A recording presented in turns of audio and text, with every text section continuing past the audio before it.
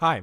So, if you're inside of Roblox and you want to change your keyboard settings, there are not direct options to change each bind. I'm in a random game now, just a 5v5 basketball game. And there are no options to just change the individual keybinds. As you can see, if I go to help, it will tell you the keybinds right here, but you can't click on any of them. And you just can't change them.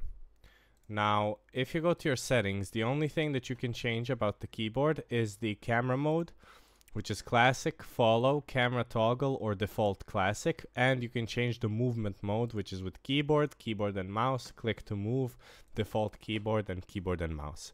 So Roblox hasn't implemented any other options to change um, each keybind specifically, but you're gonna have to just stick with this until they do.